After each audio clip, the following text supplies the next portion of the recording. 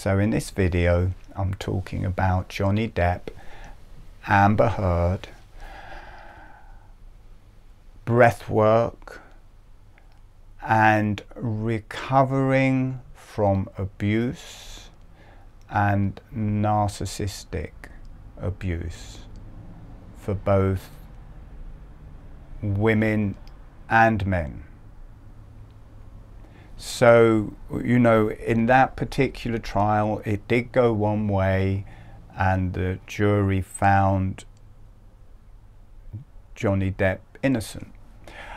Um, but what I'm going to talk about will refer to both women and men. And I know in that trial, Johnny Depp won, and I was kind of in favour of Johnny Depp, but I'm not a misogynist.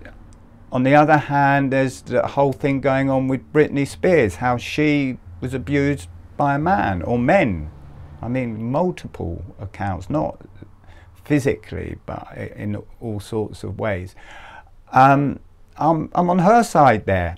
Um, and it doesn't matter what side you came down on in, in the trial. We're just going to look at some basic principle of narcissistic abuse and how you can recover from that,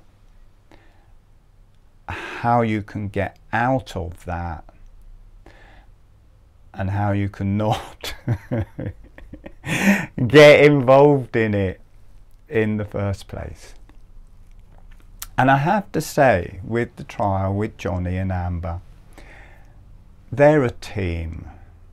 Whatever happened, we don't know what happened there because there were snippets of conversations of a however long relationship, just snippets of conversation. So we don't know. But it was clear they both had a past of abuse. And they both were involved in drugs. It seems Johnny seems, from what was said and admitted to, being more involved in drugs. And I think when I first started listening to it, I thought, oh God, look, my one of my film stars is a drug addict since early teenage years and never stopped and he's, look, he's abusing his wife now as well. Uh, so I started off, kind of, I didn't know Amber Heard, I just didn't know who she was. So I thought, well, yeah, probably Johnny. And then as I listened to the recordings, I thought, no, no, no, no, that, it, uh, maybe he did some abuse. But when I listened to Amber saying, telling her, I'm not punching you, I'm hitting you. and I can't, and I can't say I'm not going to do it again. You know, when I hear that, I think, well, actually, she's abusive. It was if that was the other way around. If that was Johnny saying, "Listen, Amber, I'm hitting you. I'm not punching you," ha, it would have been all over. Do you know what I mean? So I kind of came down. Anybody who hits or punches anybody, either sex, for me, that's abuse. But in my personal journey, what it brought out, I think this is the important bit. I can feel the energies coming in as I'm talking about this. In my personal journey, what that hit on in me was the abuse I suffered from my mother. Because I was continually hit by my mother my, until I was too big for her to hit me. She may have thrown things at me after that, but I think, I don't know, I was about six or seven and she came up, and it was every day, and she came up and just gave me a big slap around the face and I just stood there. I hadn't cried, I didn't cry, you know, for a long time. I'd learned to be hard, don't cry when you hit at all.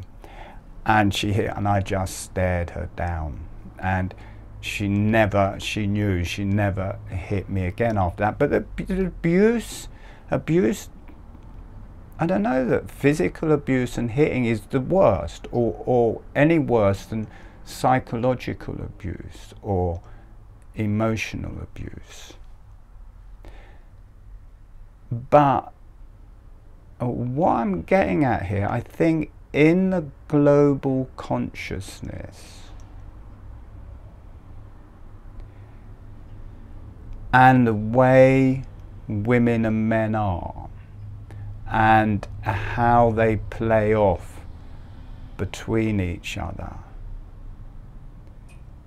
I think it's quite hard for a man to admit that he's been abused by a woman. He's meant to be big and strong. How big, strong me? How could a woman ever abuse me? And I was like that. You know, I would complain when talking about my childhood. I would complain, well, she hitting me all the time. I was the scapegoat. My brother and sister didn't get hit. They got emotional abuse and stuff, but I was the bad one, the terrible one, always hit, always needing to be admonished, always needing to be put in his place. So I would complain and say, she did this and she did that and this and that. And a lot of it I was trying to make people believe that it actually happened. Because I, I was always told it was me, it was my fault. And then later, when I confronted uh, many years later, it just burst into tears. It never ever happened. You know, I had to ask my brother, did I get hit as a child and hard? And he said, and how? you know, yes, of course. But it's like you're just paranoid. It, it didn't happen. So a lot of it was me just trying to say it happened it happened people would listen but still in me it's like i don't know. And it took it was nice to have my brother because over the last few years we've talked in conversation and swapped notes and it becomes real at that point. So i think with an abuse with the gaslighting that's going on people have a bit for women and men people have trouble believing in themselves that they are being abused. And as I said, I might be wrong. Now, I complained about it, but I never said I was abused. That's just, you know, all of that. You say, I was abused by my mother. I never said that. I said, she did this, she did that, she hit me, she called me names, she continually dominated me, she continually run me down. But something about saying those words, I was abused, by my mother. And I can feel the emotion going off in my stomach as I say those words. And it was when, and I feel the tears, and it was when Johnny Depp was on the witness stand and they were saying something to him about abuse, and he said, Yes, I was abused by Amber. He didn't say I was hit and she did. You know, when you talk about it, you're going off at these different ages. You said, I was abused by Amber.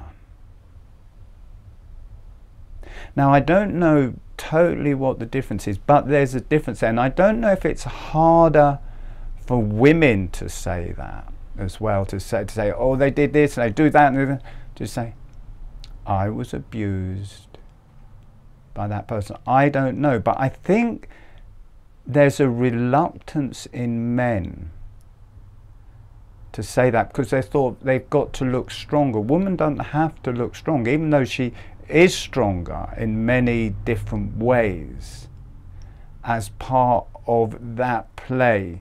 She doesn't go out to look the stronger one. So I, I, I might be totally wrong. So it was interesting me, and that freed me up when he said those words, I went, ah,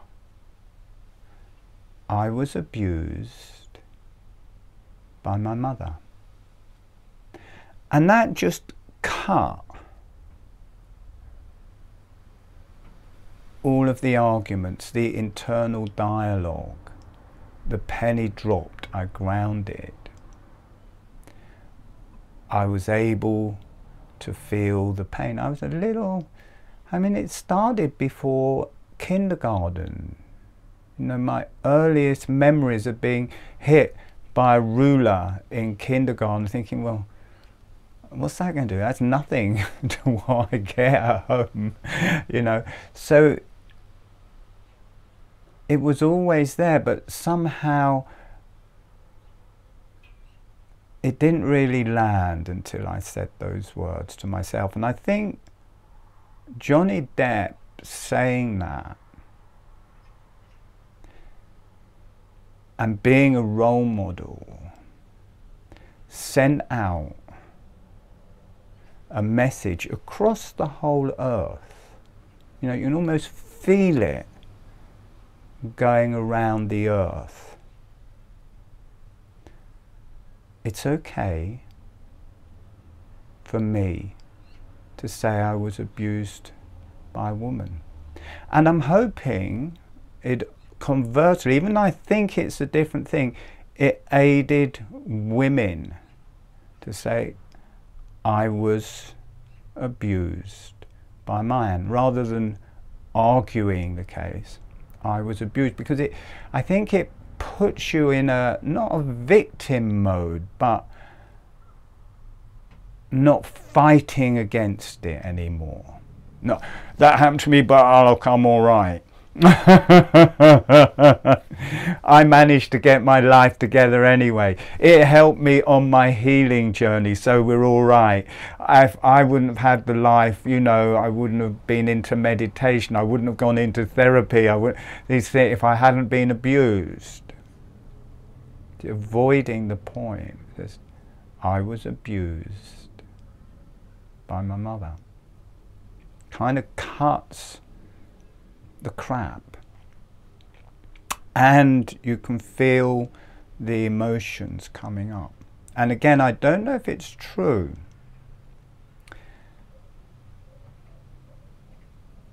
But a lot of emphasis has been around on men abusing women. There hasn't been so much, or men abusing women and men abusing men, because there's a physical element involved, and definitely men physically abusing women is an abhorrent thing. But for me, also, even though a woman isn't as strong, you know, my mother, she was stronger than me, four times my size.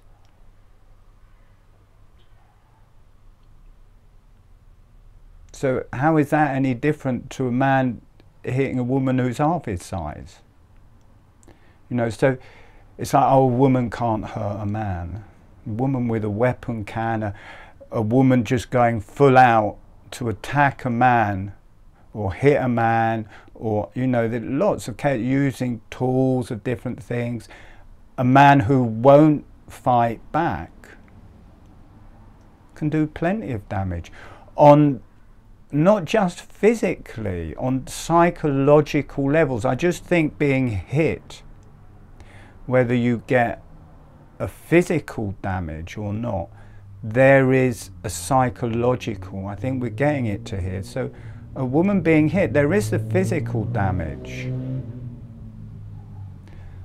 But I think the psychological damage that keeps it in place is deeper.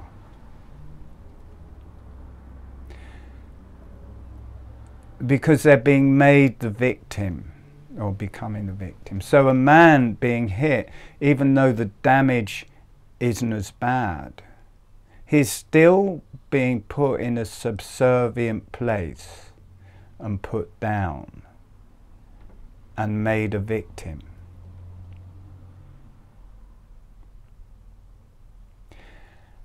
And I don't hear much also about women abusing women, and it doesn't have to be physical, you know.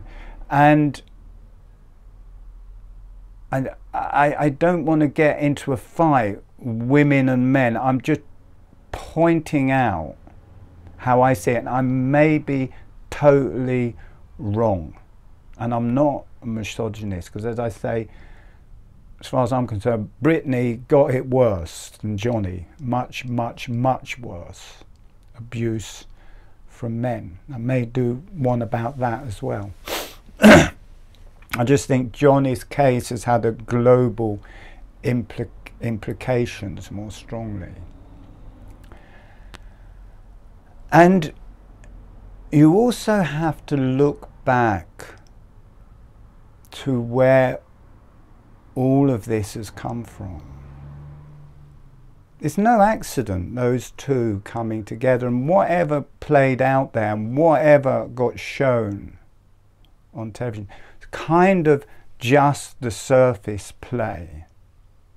For both of them, that started in childhood. Amber was abused by her dad, Johnny was abused by his mother. And for girls and little boys, for me, that's kind of where it starts. And I know it's not always the case. I'm trying to avoid gender issues here. I know it's not always the case. But to the main part, we're being mothered by our mothers. To the main part. They do the caring. Now, it may be equal, these days it's probably more equal, but in the past, certainly in my generation, the man went out and worked and the woman stayed at home. So there's a whole generation there of definitely where women were looking after the children. And in some ways, the men may come in and put in some discipline in that situation or their input or whatever. But the women within themselves naturally take on that role. So these men who are going out and hitting women where did that come from? It doesn't have to come from your mother abusing you. But give me a child of seven years and you will get the adult. We are programmed in that first seven years. So in different ways the pro the parents play their program into the children. So maybe the mother was abused by her father or the other way round, you know, whatever way it is. And even though the mother isn't doing it, somehow that is pervade into the child. So, you, and it may come from the father. But so this court case goes off. But they're brought together to play something out. I mean, Johnny had a really damaged finger, but other than that, no physical, you know, big, I've lost my arm thing gone on.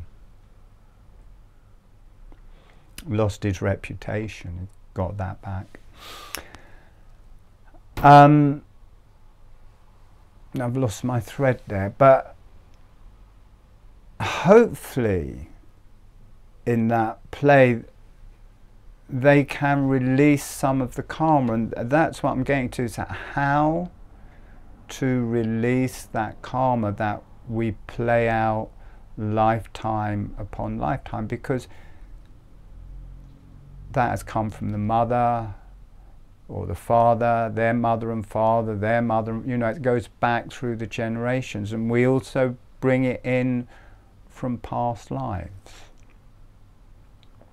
So we can work with it, with the angst of it. Now, a lot of it is understanding, and through that court case, I kind of understood I was abused. I also you know, I left very young and never really wanted to speak with my mother again. You know, my father wasn't seen, not because he didn't want to, he was thrown out by my mother when I was about nine. And then I was just taught to hate my father and men, a boy being taught to hate men and fathers, how they're terrible people, and look, he's doing this, that, and the other. And apparently, he was trying to contact us and sending us letters. When I met him, he said he, bro- I was a broken man from it. How much truth he was telling, I don't know, because later on it, it was too much for me. He didn't want to be in contact. Uh, so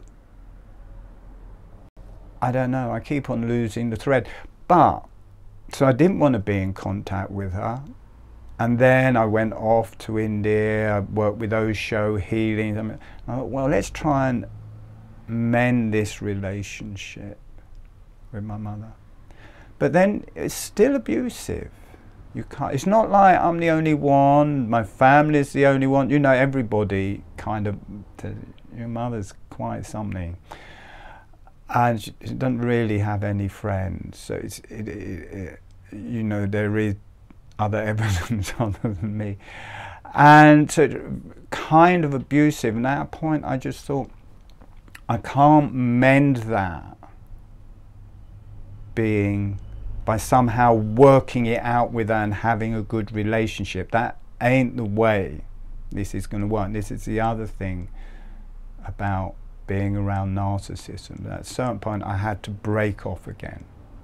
And I energetically broke off. I did this figure of eight around me, sat her in front of me, do a figure of eight to cut the ties and then when I'd done that, instantly this big next day I think this this whole thing exploded where I just thought that's it, that's the end. I can't go near her. That just terrible thing for a mother to do. I just thought that's it. That's it. It can't be healed in that realm. No matter she's my love mother, she loves me in some way. I love her in some way, but this thing happens that is so sick and bad that it can't be resolved together. And I think in any narcissistic, abuseful relationship, there's that, I've got to stay because he loves me, or this, or that. It's narcissistic abuse. Get the fuck out heal it in yourself at a distance.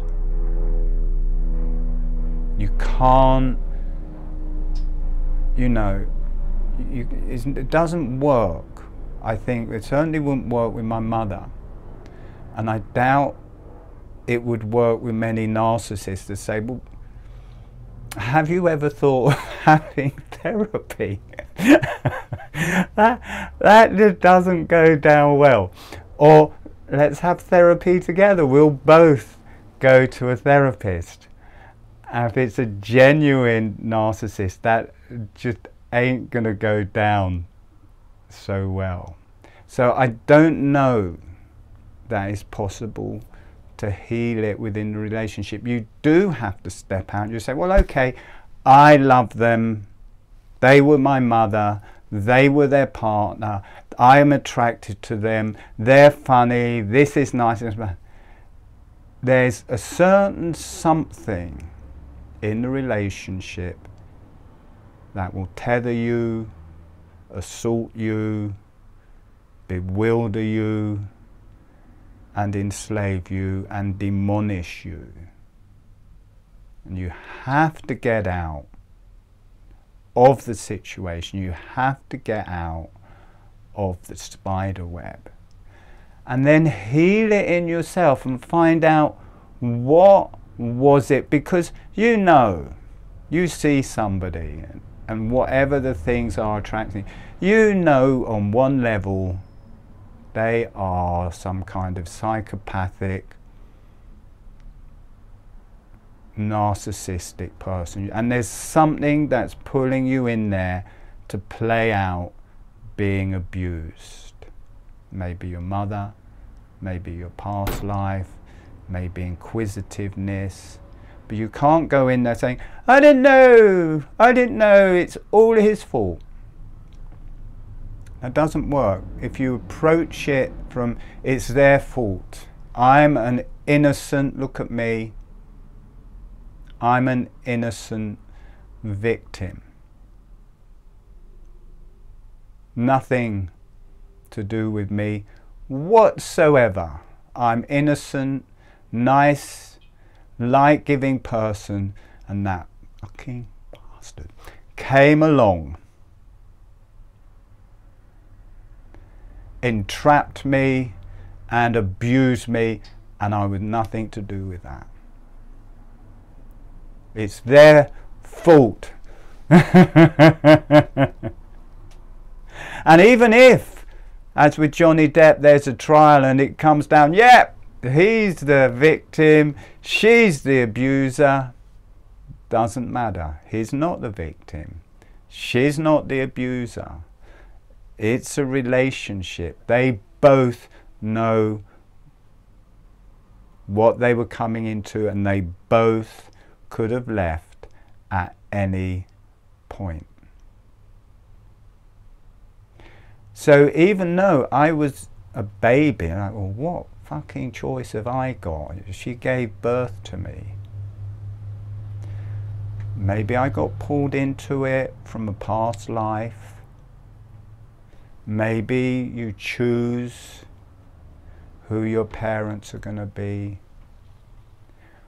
Or just in dealing with it, you have to take responsibility for your side of it. You have to take responsibility for being the victim and somehow bringing that on yourself. Once and it doesn't mean I'm a victim. I It means just bringing it into an arena where you are responsible for it. Because if you're not responsible for it, you can't resolve it. Because to resolve it, you then have to go to the other person. But you have to take responsibility, find some way of being responsible in yourself for whatever happened to you. And then that also gets rid of the hatred. Somebody else did it to me. I had an equal part in that. Then it's something I'm not blaming someone else. I, I don't know. I don't. don't I'm not really that big. That you know, I'm a breath work. I'm just talking about my own experience. But I had to be responsibility and not be blaming my mother as this terrible, terrible person did this diabolical thing. She had her own past. She had her own brokenness that pulled her to be in a certain way. I have no idea what happened to her in her childhood, and I have no idea what happened to her in past lives or whatever. So she has to con deal, con deal with her own side of it. And she thinks she's the victim. In all of these things, she thinks she's the victim. And I think that's with many abusers.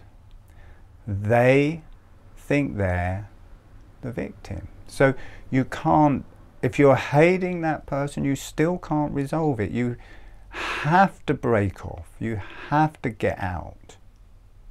But then you can start dealing with it yourself. The best way, loads of ways to deal with it. I have had remarkable movement forwards with this, with holographic breathing. Because holographic breathing takes you back into not per se your mother's womb, but the state of intrinsically being in a womb in your own environment and evolving and being born and breastfeeding, but your own intrinsic quality. It starts untying your knots to whatever the karma is that have brought these things in. And because the movement of the mouth in holographic breathing is like a very subtle form of suckling. I can remember when it started, I brought it through and I started, started working for six months, I was thinking, this is sating not being breastfed. And also, I don't know how comfortable I was in my mother's womb, and I don't know how comfortable I was breastfeeding from. I think it's always, you know, she was, uh, and it's not, it isn't just me. That, you know, all right, for me, for me, let's just say, she, uh, quite a heavy duty person, and as an image, I, think, I don't know how much I would have enjoyed that or feeling, but it somehow released that in myself, being able to be with that within myself rather than as a memory of being with it with the mother. It will play those memories out and they will release. So it goes back to that arena where you can untie the knots at a very early age and before, because we go back through conception, we connect to the other side. And also, what helps in holographic breathing is the energies traveling through the brain.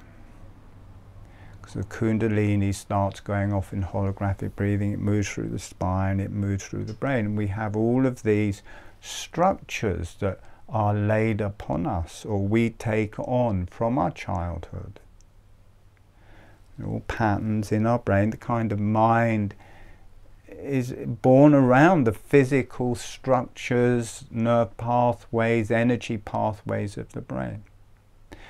And as the Kundalini rises through the brain, it doesn't go through those structures that we've laid out. It opens up its own natural structures in line with nature and in line with the higher self. So as it transverses through the brain and you become more a viewer and just watching this karma unfold, it connects you to your original matrix rather than what has happened to you. So you just start drifting away from whatever it is. You still kind of have to deal with those different things, but you don't get into a cycle of just going round and round and round and round and round and always being in that.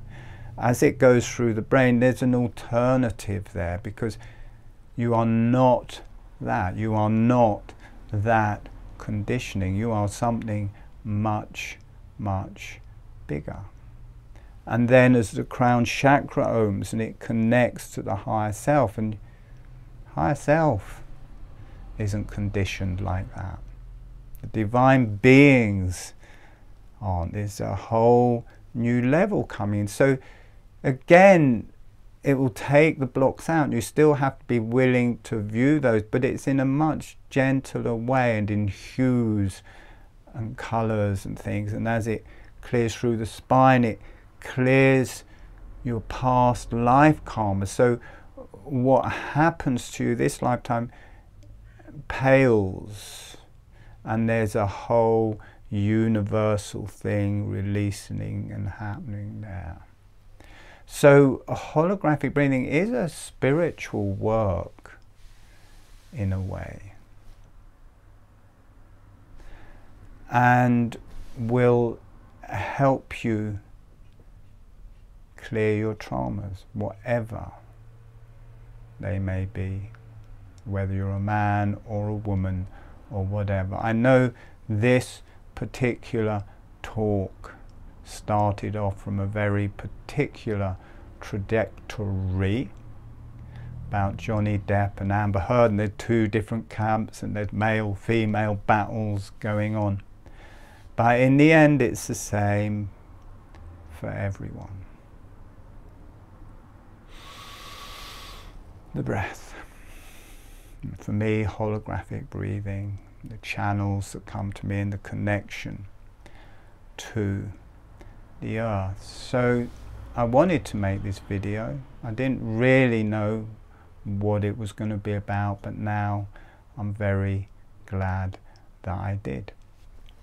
I have free webinars about once a month. I have advanced webinars every Sunday. There are recorded free webinars on my website or on YouTube. Please come and learn holographic breathing and enjoy holographic breathing. I hope you've enjoyed my webinar. If you have, please like it at the bottom. Please subscribe. Please write comments. I will always answer the comments. And please learn holographic breathing. All the basic learning of it is completely free of charge. So learn holographic breathing. And good luck with whatever you're dealing with and whatever is going on in your world. All right, thank you and goodbye.